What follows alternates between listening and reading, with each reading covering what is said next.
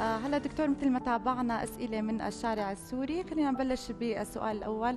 كثير من المريضات عم بيتعرضوا للفينير ولكن هذا الفينير بينكسر أو بيخرب أو بيطلع هيك لحاله. شو ممكن تنصح الفينير بالثابت أو المتحرك وفوائد وأضرار كل منهم؟ هلا أول شيء موضوع فينير ثابت أو متحرك هو أكيد ثابت. بس موضوع هو بيكسر أو بيفك أو لا أكيد هو بيكسر. فهو أي شيء تجميلي إجباري بيكسر. يعني دكتور نبههم لياكلوا بزر عليه للفينير تمام.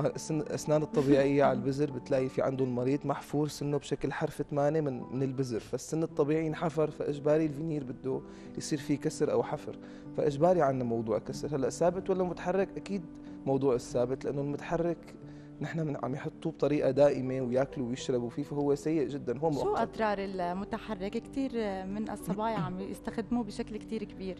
هلأ بغض أول أول ضرر أنا بشوفه أول تجميليا هو ماله شيء ماله ماله جيد ابدا لأنه هو واضح إنه هو بلاستيكي بيتم أي مريض. يعني أنت مجرد ما تشوفي الصبية أو لا كأنك حاطة شيء بتمك يعني واضح إنه هو مثل الطبشور بيطلع لونه. ثاني شيء إنه هو لما عم تشربي وتاكلي فيه فهو متحرك عم يفوت سوائل. بقلب اللسه تحت هذا ال tray اللي انت حاططيه فإجباري ممكن يعمل لك شوية التهاب شوية رائحة ممكن وما بصير انت تاكلي عليه طيب أصلا. الفينير الثابت كمان ما بيعطي رائحة أو أو التهاب للثه ولا لا؟ هلأ الفكرة هو نحن لما بدك تعملي تجميل فكر المريض إنه أنا عملت تجميل خلص إنه ما عاد في داعي إني أرجع عند طبيب الأسنان ابدا أو بتخف عنايته حتى بأسنان. إنه خلص أنا أسناني بيضة ما بقى تتصبغ هو العكس تماما. هو بمجرد ما عملت تجميل صار لازم تنظف أسنانك أكثر من ال... من الإنسان الطبيعي. هلأ مثل انت مثلا عم تنظفي هي المساحة دائما كل يوم فجأة حطيتي فيها كذا قطعة بصير بدك تبعديهم لتنظفي. صح.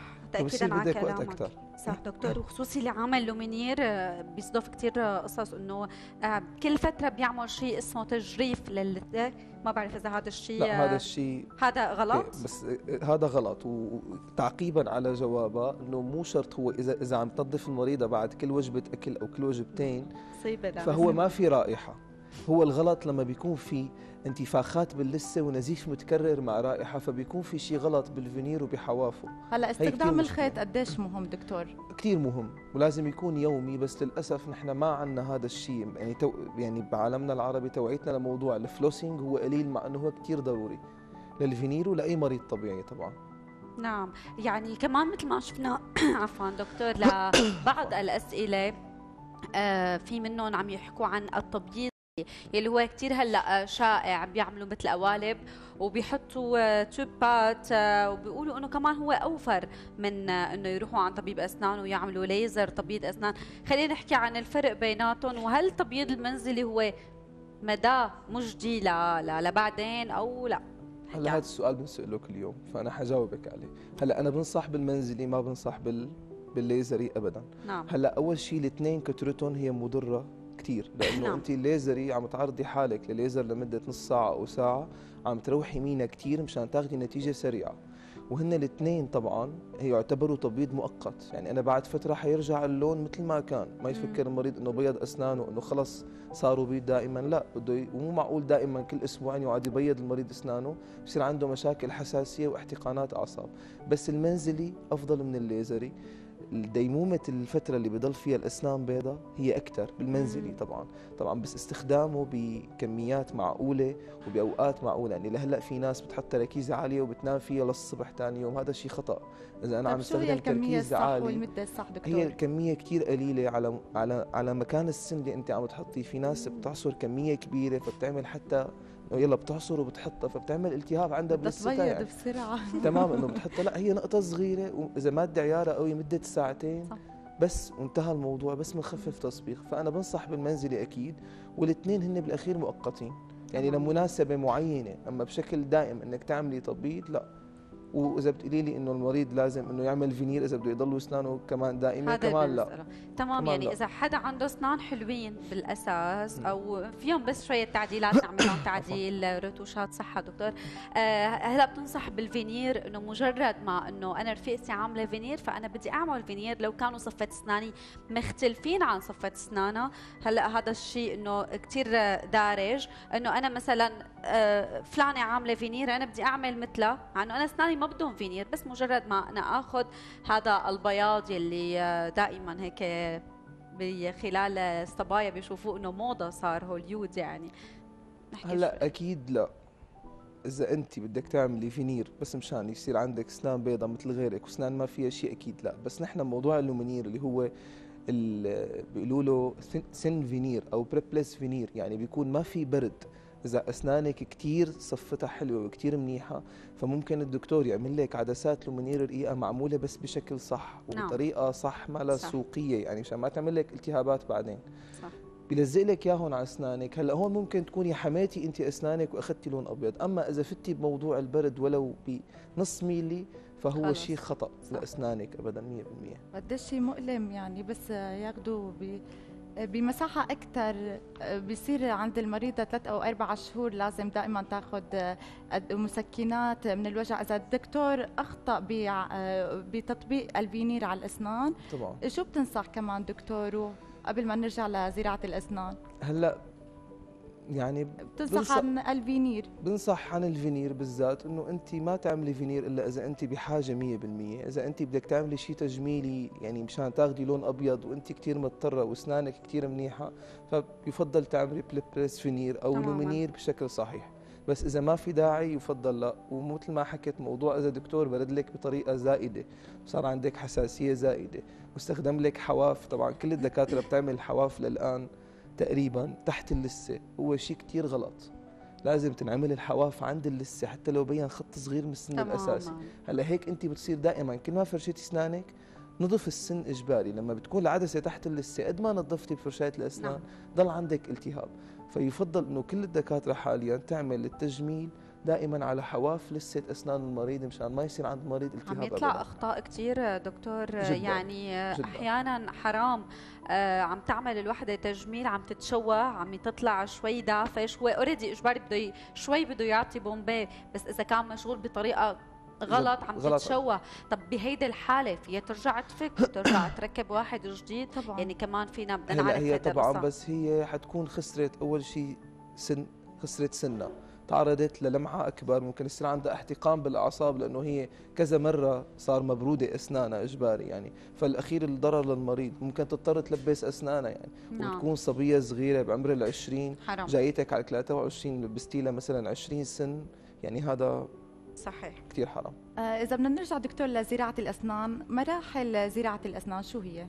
هلا اول مرحله مثل ما حكينا بنعمل صور للمريض اسمها CBCT computer tomography نشوف قديش بقيان عندنا عظم عند المريض وبنتفق معه على الجلسة للمريض. بنجي بنحفر بقلب العظم مكان الزرعة اللي نحن بدنا نحطها. طبعا كله بيكون على خطة مدروسة أكيد يعني. وبندخل الزرعة للمريض وبنسكر عليها. هلا نحن في عنا طريقتين للزرع. الطريقة الأولى اللي هي على مرحلتين إنه أنا بسكر على الزرعة مثل ما حكينا حاليا لمدة شهر ونص شهرين. بعد شهر ونص شهرين بفتح على الزرعة بحط مشكلة للسه لمده أسبوع بتعطيني شكل دائري مثل كأنه سن طبيعي وبحط سن بعدين للمريض. هلأ الطريقة الثانية هي التعويض المباشر بس هي كثير فيها ريسك وكثير بده يكون الدكتور عرفان إنه هالمريض هالحالة وهالسن ممكن أنا أعوض له مباشر. يعني أنا بقلع السن وبحط الزرعة وممكن أعمله تعويض مباشر للسن بأسبوع إنه هو ياخذ سن وإنه يستخدمه فورا. بس هذا الشيء بده يكون سن بمنطقة مثلا تجميلية أمامية نعم. ما يكون في عليه رد أكيد يعني. إذا كان في رد فحتفشل الزرعة بعد فترة صغيرة. طيب ما هي مشاكل زراعة الأسنان؟ المشاكل مثل ما قلت لك أول مشكلة أنه ما عم يكون في توازن بين التجميل والتعويض. يعني عم يجي الدكتور يحط الزرعة للمريض مشان المريض ياكل عليها. بس عم ينسى الناحية التجميلية إنه هذا السن اللي حطه للمريض هو كثير كبير وباين شيء وكثير مبين وكثير يعني أحيانا المريض عم يقول لك يا ريتني ما زرعت ضليت بلا سن ولا زرعت على هالحجم الموجود. فلازم يكون في توازن نعم. بين التجميل وبين الوظيفة. صحيح. فأهم شيء إنه يكون السن اللي انت زرعتيه ما له مبين ابدا إنه هو مزروع. يبين سن طبيعي. سن طبيعي. وله مراحل معينة دكتور؟ يعني. مو دغري إنه آه بده يجي يزرع أسنانه فهو كن فيكون قديش فيها تعب وفيها فيها تعب جهد. وفيها جهد وفيها وقت. وإذا انت بدك تاخذي نتيجة تجميلية منيحة 100% ممكن تضطري تحطي لسه وتضطري تحطي عظم هذا الشيء ممكن يعطيكي ست شهور مراحل علاج. بس انت فيك تستخدمي مؤقت بين ما يخلص هالعلاج تاخذي أحسن نتيجة بس للأسف ما حدا عنده صبر مشان أنا أكون صريح يعني. أه، دكتور علي طيب شو هي الحالات اللي بيمنع في عملية زراعة الأسنان؟ هلأ كل الموانع الموجودة حاليا كل ما عم نتطور عم تزيل الأسباب اللي انه هي بتمنع منع قطعي. هو كله صار هالأيام هو منع نسبي. هلأ المريض اللي بيكون عنده آه، مشاكل بالكلوة أو بيغسل كلية دائما فهذا موضوع الزرع بالنسبة له لأنه استقلابه بيكون غير استقلابي واستقلابي. كان بال control هذا السؤال كان كان عم عم يحكوا إنه في حال غير مرض الكبد السكري السكري طبعا مرض السكري السكري إذا كان سكري غير مضبوط. شو يعني غير مضبوط؟ يعني في مرضى بتفيق الصبح السكري تبعك 350 بتفيق بالليل 400 الصبح 200 هذا مستحيل ينزرع له حتفشل الزرعة 100% أما إذا كان سكره مضبوط صار له سنتين نظم جرعات الانسولين وبيكون قيمته معينة ففي ينزرع له. نعم. المرضى اللي بيكون عندهم احتشاء قلب طبعا أو حاطين صمامات أنا قبل سنة ما فيني أزرع لهم. المرضى اللي بيتعرضوا للإشعة مشان الامراض السرطانية نتيجة هالإشعة بتتموت عندهم شوي الغدد اللعابية فبصير إفراز اللعاب عندهم ضعيف. فلستهم ما حتستجيب 100% حتتراجع عندهم الزراعات إجباري. في كثير أسباب مثل هالأسباب هي. يعني. بس كلها أسباب صحية والسبب الأهم والرئيسي هو يكون فقدان العظم. يعني أنا ما عندي عظم ولا ممكن إني اعوض للعظم. في طرائق لتعويض العظم بس ممكن يجيكي عظم تقريبا واحد ميلي رفيع جدا جدا وتحته العصب فورا فأنت من الصعب جدا إنك تعودي للمريض. طيب دكتور إذا حنعرف الحالات المناسبة لزراعة الأسنان شو هي؟ آه، هي الحالات اللي بيكون في عندك فقدان بالأسنان هو مثل ما قلت ولادي أو وظيفي. يعني أنت اضطريتي تقلعي سن معين انتخر كثير صار في خراج. ما عاد عندك مجال ابدا للعلاج غير إنك أنت تقلعي. فقلعتي هذا السن وتحطي مكانه زرعه هذا الحل الأفضل. إنه أنت إذا تركتي السن من دون ما تحطي زرعة الأسنان المجاوره حتميل على الفراغ. حيصير عندك ميلان حيصير عندك سوء إطباق. وإذا رحتي عملتي جسر طبعا نحن بنركض على موضوع الجسور لأنه هو موضوع أرخص بصراحة ماديا من الزراعه رحتي على موضوع الجسور فانت ضربتي السنين المجاورين مشان تعوضي هذا السن الموجود. ففقد سن واحد أو فقدان بالأسنان الخلفية يعني انت ما عندك أسنان لتاكلي يفضل إنه انت تعملي زرع. نعم. يعني آه، سمر دائما المرأة الحامل بيقولوا بتفقد سن. ما هيك دكتور؟ درس سن؟ شو؟ هي مو بتفقد سن بصير في عندها نقص كلس النقص بتضعف أسنانها بصير عندها نخور وبتلتهب من الستة من الهرمون أثناء الحمل. نصائح للمرأة الحامل من بعد ما تولد آه، فيها تعمل زرع ولا صحة فيها تعمل زرع؟ هلا نحن بنتمنى ما تعمل زرع إذا هي ما فقدت السن، يعني هي أهم شيء ممكن تعمله إنه هي تعالج ترجع الأنخور الموجودة عندها وتطمن إنه هي كل النزف اللي صار معها بالستة أثناء الحمل هو نتيجة ارتفاع هرمون الأنثوي عندها أثناء فترة الحمل، فإنه يفضل إنه هي بس تعالج أنخورتها إنه هي ضعفت من نتيجة الحمل تبعها وترجع تنظف أسنانها ولستها. ما في داعي للزراعة ابدا. إذا فقدت سن طبعا يفضل إنه هي تزرع أكيد نعم. 100% ما في مجال. دكتور بدنا نصائح عامة لكل حدا عم يتابعنا. لاي حدا عامل زرع أو أي حدا عامل تجميل مثل ما قلت لك أول الحلقة بياخذ فكرة إنه أنا زرعت ما عاد في داعي يروح شوف دكتور أسنان ابدا وما عاد في داعي ابدا إني بعد ما عامل فينير أنا فرشي أسناني أو شوف طبيب أسنان هو لا. المفروض تكون عناية قصوى. يعني أنت لما بتعملي زرع أو تجميل إذا عم تفرشي أسنانك مرتين باليوم لازم بصيروا أربعة بعد ما أنت عملتي تجميل. تعتني فيهم لأنه مجرد التهاب خفيف حتخسري الفينير وحتخسري الزرعة مع الأسف. إذا صار عندك التهابات حواليها باللثة بعد فترة ممكن تنكشف الزرعة وتطلع من تم المريض.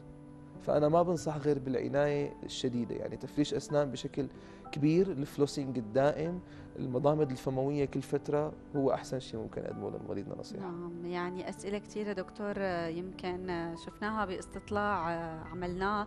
أيضا بدنا ننصح كمان الأشخاص اللي مو عاملين لا فينير لا Lumineer ولا أي من هدول القصص كيف بدهم يحافظوا على أسنانهم. غير الفرشايه يعني كمان زيارة الطبيب كل ست شهور بيقولوا أو بشكل دوري هي كثير مهمة والإهمال تبع الأسنان صاير كثير كبير عندنا. هلا هو في بالريبورتاج كان في حدا عم يقول أنا كيف بدي أحافظ على أسناني وأنا لازم دائما أشوف طبيب الأسنان. هو لازم بشكل دوري كل ثلاث شهور أو ست شهور إنك تشوفي طبيب أسنان. لأنه في طبقة plaque ما حتنضف معك بالمنزل إجباري بدها طبيب أسنان لينظف لك إياها نعم. إجباري. وبتضل أسنانك صحية و fresh. ومثل ما حكينا نحن إذا بدنا تبييض خفيف ممكن نستخدم المنزلي. ما نضطر نفوت بموضوع برد الأسنان الزائد. إذا نحن ما لنا بحاجة لهذا الشيء. فنحن بشكل دوري عن طبيب الأسنان. مع تنظيف خفيف تفريش أسنان بشكل دائم تكون أمورنا كثير منيحة إن شاء الله. بنتشكرك كثير دكتور علي على المعلومات الحلوة كثير والتوفيق. أكيد بنتشكرك وإن شاء الله يا رب يكونوا نصائحك وصلوا للجميع. لك